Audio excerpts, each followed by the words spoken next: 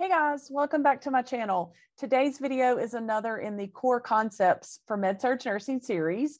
And at this point, I think we probably have close to 10 core concepts videos. I will link all of them in the description box below if you are looking for other core concepts to review. Now, as a reminder, the core concept series is a back to the basics series where we are really just trying to understand what is going on inside the body so that we can better assess diagnose, and care for clients with acute and chronic conditions. Now, do remember that every Core Concepts video has an associated case study or study guide available in my Etsy shop, and I will put a link to that Etsy shop in the description box below. However, for this video, I am offering a free study guide and it is all about medications that affect coagulation. And in addition to talking about those medications, nursing implications, their mechanisms of action, and what they're indicated for, I'm also discussing the laboratory values that go along with each of those medications, and as well as any antidotes that go along with those medications. So if you're interested in getting a copy of that free study guide, please do email me, and I will provide you with a copy of my email at the end of this presentation as well as you can find it linked in the description box below.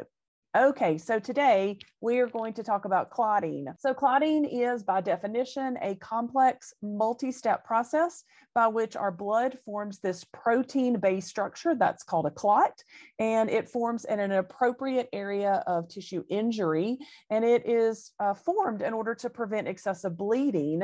However, that clotting process is not preventing whole body perfusion, and that's really important. So, of course, platelets are or thrombocytes play a major role in the clotting process. So, when injury occurs, those platelets become very sticky and they aggregate or clump together to form the plug or the clot. So sometimes you'll hear uh, platelets called that process called platelet aggregation. So that just means they're clumping together. Now, platelet aggregation does trigger a clotting cascade, which causes our clotting factors, which are um, produced by our liver, to work together and form that fibrin clot and also localize blood coagulation. Now, if we're unable to form clots inside of our body, that can result in life threatening blood loss.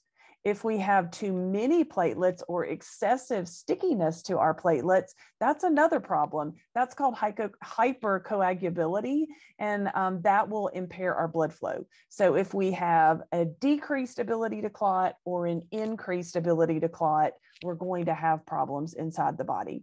Now, the interrelated concepts for clotting are going to be mobility, and of course, perfusion. Uh, perfusion we have already discussed in this series and mobility will be coming soon. Okay, so this slide should look familiar. We've looked at a very similar slide in numerous other core concepts videos, but this is the scope of clotting. So of course, straight in the middle of our scope, we do have normal clotting, which is what we want for our clients. However, we can have decreased clotting, which can lead to that life-threatening blood loss or hypovolemic shock.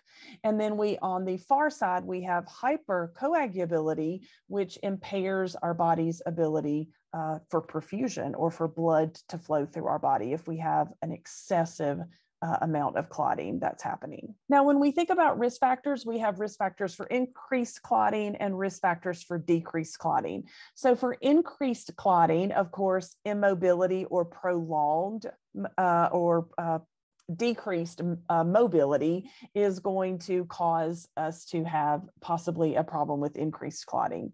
Polycythemia is where we have too many red blood cells, which makes our blood thicker and does predispose us to developing clots. Smoking decreases platelet aggregation. Uh, diabetes mellitus impairs blood flow. And when we have impaired blood flow, we might have increased clotting. And then, of course, atrial fibrillation. Decreased clotting risk factors are going to be thrombocytopenia, so we don't have enough platelets. So any meds or diseases that cause bone marrow suppression, so there are some uh, chemotherapeutic drugs, um, also uh, radiation or chemotherapy, um, any treatments like for leukemia, those are going to suppress our bone marrow and therefore we won't produce as many platelets. Um, liver cirrhosis. So remember, those clotting factors are produced in our liver. So anytime our liver is dysfunctional, we do have decreased clotting factors. And then, of course, we might have a genetic condition such as hemophilia. Now, hemophilia is an X linked recessive genetic disorder. And if you're interested in hearing more about genetic disorders, I do have a video on my channel, channel all on uh, genetics. And I talk about hemophilia in particular, and you can learn more about that by watching that genetics video. I will link it in the description box below. Um, the physiologic consequences of clotting, now some of which we've already talked about. Let's start with increased clotting. So for increased clotting, we can end up with venous thrombosis. They can either be superficial blood clots or deep vein thrombosis. And of course, the problem with either superficial or deep vein thrombosis is they can dislodge and end up in our brain causing a stroke or end up in our lungs that's known as the pulmonary embolism both of those can um, certainly be life threatening. Now, for decreased clotting, that's that prolonged bleeding, increased blood loss, decreased perfusion, um, all of which is going to lead to hypovolemic shock. And we do know that the end result of hypovolemic shock, if untreated, is death. So, very, very life threatening. Now, from an assessment standpoint, increased clotting, we're going to look for signs and symptoms of venous thrombosis. And so those uh, signs and symptoms are going to be localized pain, swelling, redness, and warmth. We tend to see that in our lower extremities. So you're watching for that lower extremity or that calf, that swelling, it's red, it's warm. Maybe you're doing um, calf circumference measurements. Um, the patient is having pain with movement of the ankle or with walking, all of those uh, especially if it's unilateral, could be signs of a uh, superficial or deep vein thrombosis. Now, for decreased clotting, we're going to see purpuric lesions. So those are hemorrhagic lesions. Um, so that might be ecchymosis, so bruising, or petechiae. We might also have blood in our urine, that's hematuria, or occult blood in the stool, or frank bleeding from the stool. We can also have frank bleeding from the gums or the nose. All of those would be signs that we're having um, a decreased ability to clot. Now, I did mention in the free study guide, you can learn all about the different uh, laboratory tests that we do related to uh, clotting. And you can learn which medications we do those specific laboratory tests for. So that's a really fundamental, important part of your nursing journey.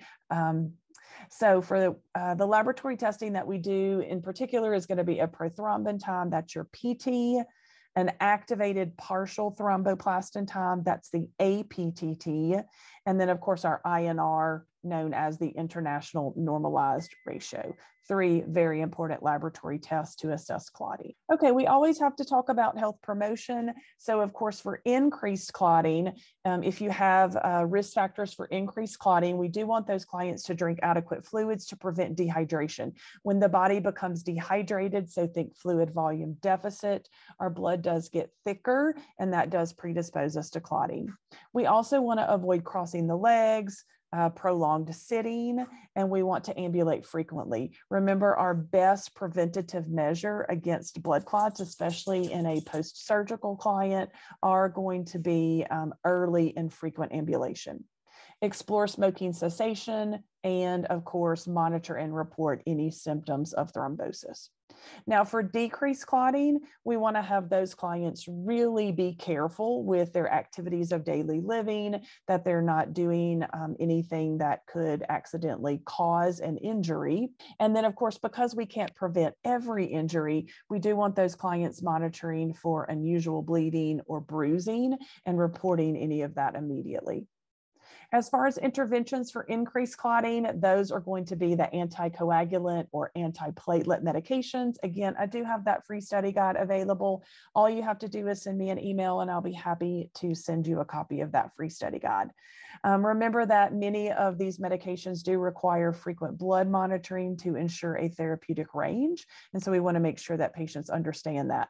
Also, anytime that a patient is on an anticoagulant or an antiplatelet medication, now they are going to have a decreased ability to clot, right? Because we're thinning out their blood. These medications are often called blood thinners. So now we want to make sure that they are monitoring for and reporting that unusual bleeding or bruising. Now, interventions for decreased clotting, again, are just going to be to monitor and report any signs of increased bleeding. Okay, guys, hopefully that was helpful for you to learn more about the core concept of clotting. Please do leave me a comment down below or contact me via email. You can also follow me and contact me on my Twitter account. I am posting over there daily lots of helpful strategies, practice test questions, additional resources that might help you along your nursing student journey. And then again, if you are interested in that free um, anticoagulant, antiplatelet medication study guide, please do send me an email at the email address on the screen and I will be happy to send it over to you. And then once again, all of the videos in the core concept series will be linked in the description box below, as well as a link to my Etsy shop where you can find other case studies and study guides to go along with every core concept video. Have a wonderful day and I will see you in the next video.